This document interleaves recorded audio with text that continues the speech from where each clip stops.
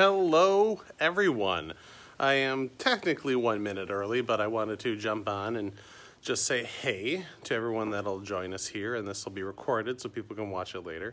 Uh, I'm really excited to give you guys a tour of the Knights Forge Innovation Lab here at University Liggett School. We are an independent school in Michigan. We are in Grosse Pointe Woods, the suburb of Detroit, and I've been very lucky to work with Demco Interiors to help design and bring this vision of what a makerspace uh, innovation lab can look at look like for a school.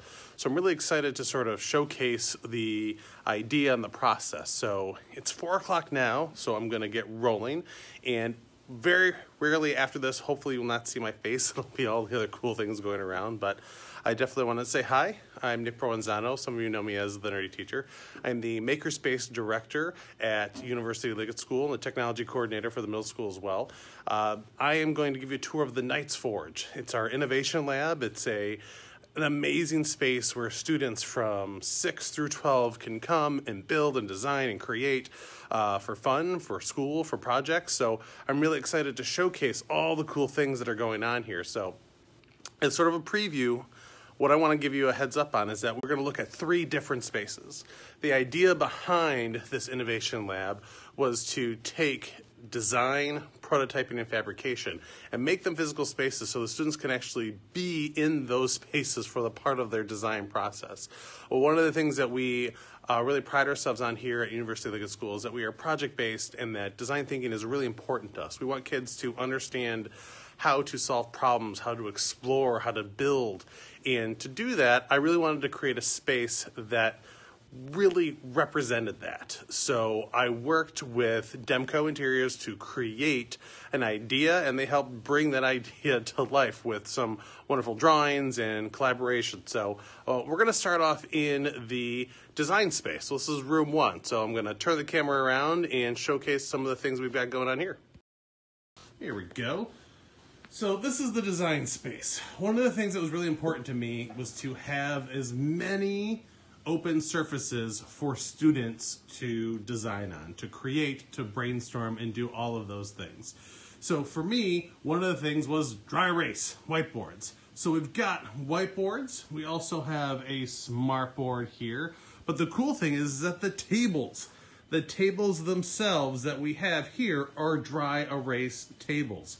What I love about these, and these have taken off, kids are immediately drawing and sketching and taking ideas, is the fact that they can design, create, erase, start over, snap a picture, erase, do it again, take it home, come back, and get down to those ideas. It's been a wonderful space for kids to do just that design.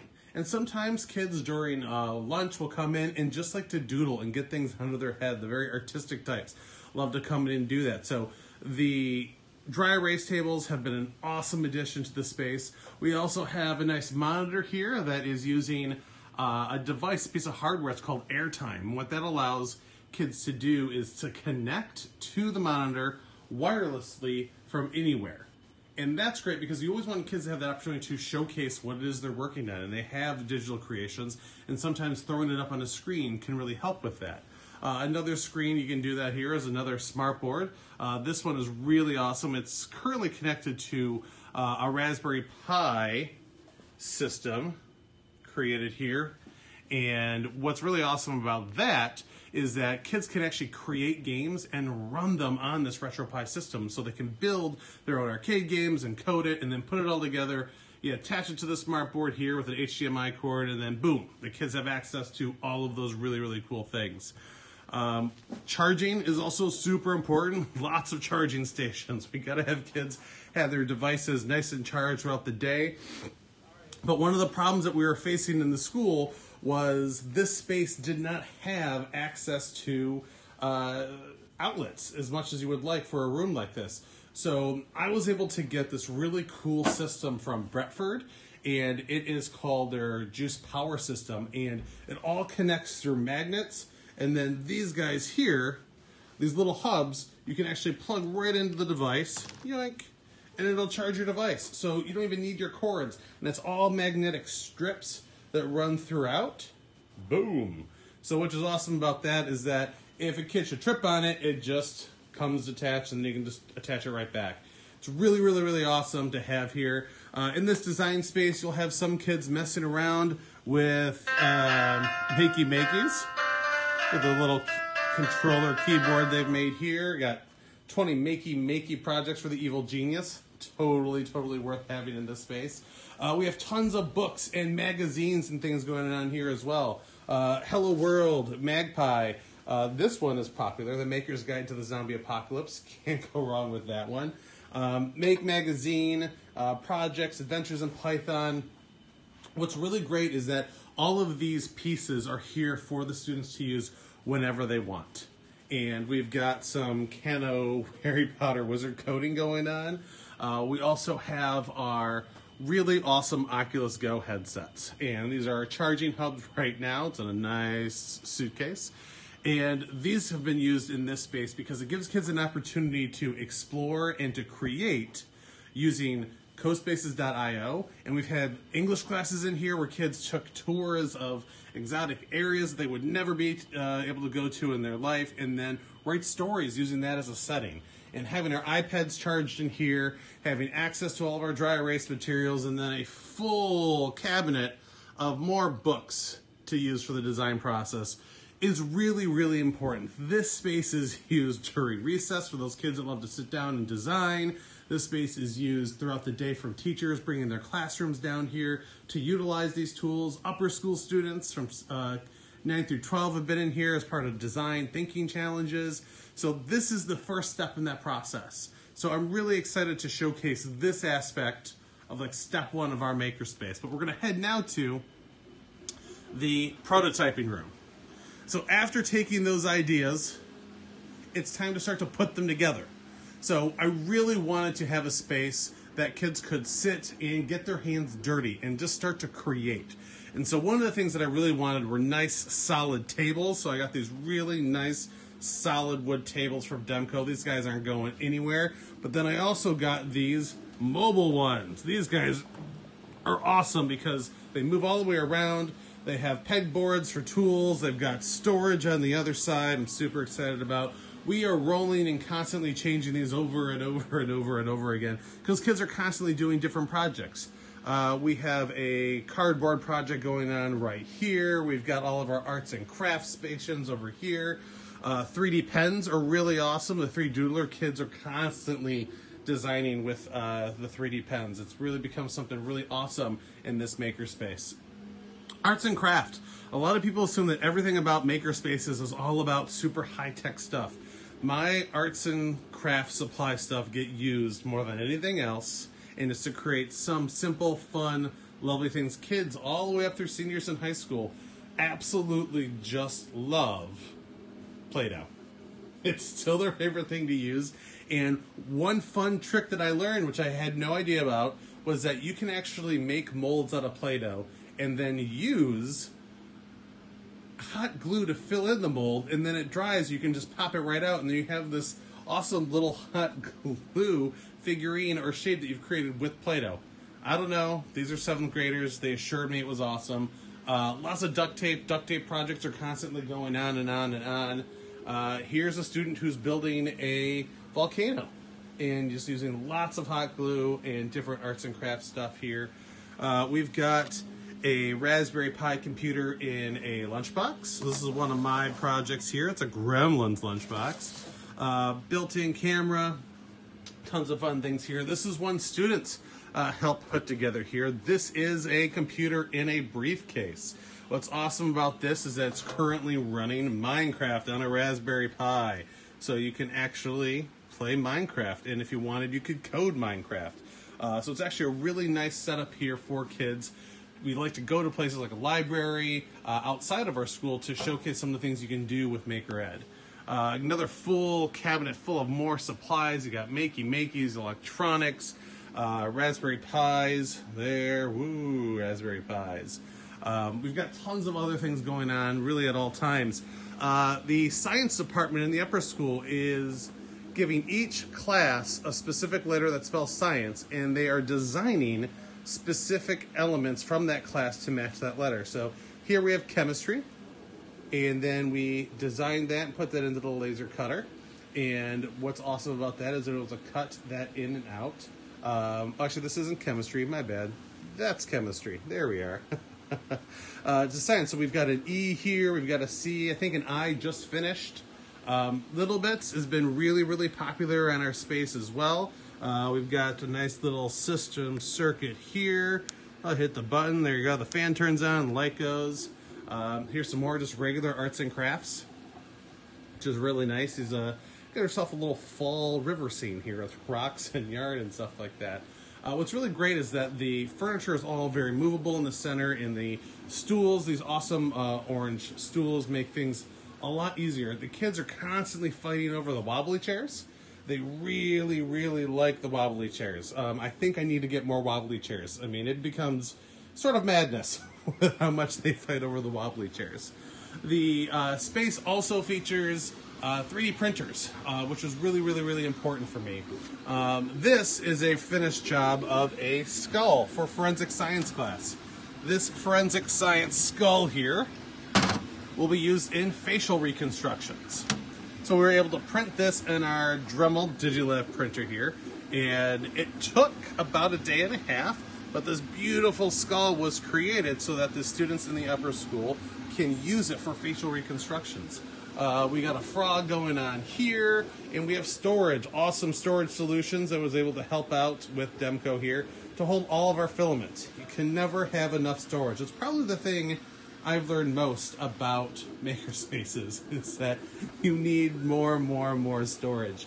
Um, it wouldn't be a makerspace without a gigantic box of Lego. I mean, you gotta have as much Lego as you possibly can. So it's really important that you have the uh, amount of space to host things like uh, Legos and then the storage spaces to keep them. So it's nice to have storage so you can place sometimes projects that kids are working on, uh, whether it's our soldering irons and other things like that. So storage has been key. As more and more kids use it, the more and more I have to get creative to find storage. So our prototyping space is constantly busy after the design space is done. So the things that you're looking at in this space are these nice solid tables that allow the kids to do their sort of I don't know, mess making work, and I love it. Um, a dirty makerspace is a well used makerspace, in my opinion. So I think that works really, really well in regards to how much your makerspace is being used. And kids are really great about respecting the space and then utilizing it over and over and over again. So I'm going to jump to the third room, the final room, the fabrication space. So fabrication space will look really familiar to some of us that uh, had woodshop growing up, that actually took classes that involved uh, making birdhouses and such. So this third space is a space that's really being used for some big projects in the high school that I'm really excited to share. But this is a standard space with pretty standard tools that will be used, drills and miter saws, uh, hammers, and we've got some desktop CNC machines here that are really, really nice. Uh, these are the Carveys. They are from Inventables. And we just finished one here. And this is a new sign uh, because headphones uh, are needed in here. They have to be used because it gets really loud in this space. So we've got this space because we have saws and table saws and belt sanders and we need our masks. And we have a gigantic X-Carve CNC cutter here. So these are all for big time projects that kids are working on. One of the best, most used items in here is our laser cutter. Let's take a look at that. We can turn it off so it's not so loud. There we go. And there's the eye. That's the eye I was talking about. For science. It is done. Look at that. Nice. So the solid, again, tables that we're using in here are very, very important. Um, part of the additions to the makerspace that we've created. Uh, these tables just give us a space underneath for storage. Again, lots and lots of spare wood and scrap wood. Uh, but what it allows us to do is not worry about breaking tables and moving things around. Uh, we have a staining station over here, which is really, really well used. And we also have some epoxy. We've been doing some inlaying for kids with their projects. Uh, this is a really cool one here. So students in an engineering class are designing this cart that's going to hold these big batteries for the robotics class. And so uh, a team of four students have been working, and this will be part of their lid that they've created, and it'll be used in the lid, and it was lasered onto this wood just today. And so the kids have built every single piece, and I've spent time teaching kids how to use a nail gun, a drill, a miter saw. They've never used it before, but these are skills that kids are picking up in this space as part of a school project. And that's the part that's so amazing about this is that when parents find out that their kids are utilizing these tools, they're excited because they see how important it is for these students, their kids, to know what they view as almost basic skills. And that's key. We want to give these kids experiences using tools. And it's one thing to just to take a class and say, you're going to learn a saw, you're going to learn to drill. It's about what projects do you want to make and what tools can you use to learn and create what it is that you want. So having students come down in here, a senior, almost ready to graduate, use a miter saw for the very first time and get super excited about it is an awesome experience to have when created a makerspace. This has been a year and a half in progress, and I'm really excited about what we've been able to accomplish so far in these spaces. I really want to thank everyone for uh, joining us in this session. It's really exciting to see you uh, join in and leave comments and things like that. Uh, this space is constantly evolving because every makerspace should be constantly evolving based on the needs of the students. So that's something really, really I want to stress to you guys is that while this is what it looks like today, it might not look this way in three months. It might not look this way in the fall because the needs of students are constantly changing. And we want to make sure we provide them with the tools that they need to demonstrate understanding in the classes that they're working with. So um, I'll still be online a little bit after this to take any questions. Feel free to uh, shoot me an at message at the Nerdy Teacher. Uh, if you want to find out the type of cool projects that are also going on here, you can check out at the Nerdy Teacher on Instagram, and you can see all the projects that are going on there in my uh, Instagram stories or uh, on some shared images on the Instagram uh, page. I document everything because I want the kids to see that what they create is valuable. And to be able to do that is really powerful for the kids to see their work shared as something that other people are enjoying and learning from as well. So please reach out to me. I want to give a special shout out to uh, Demco and Demco Interiors for helping make all of this possible. Um, if you see anything in this space that made you go, ooh, where could I find that?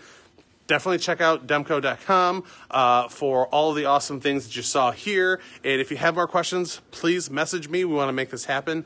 Uh, I'm really excited that we're able to make the Knights Forge Innovation Lab uh, here at University Liggett something really special and one of the kind for the students in our community. So thank you again for taking the time to watch this. I really hope you enjoyed this, and I can't wait to do uh, some more of these down the line as we start to change and grow as well. So thank you for coming and joining the fun. And this has been a Nerdy Maker Tour. I hope it was everything that uh, you needed. So thank you very much, and I'll talk to you guys later.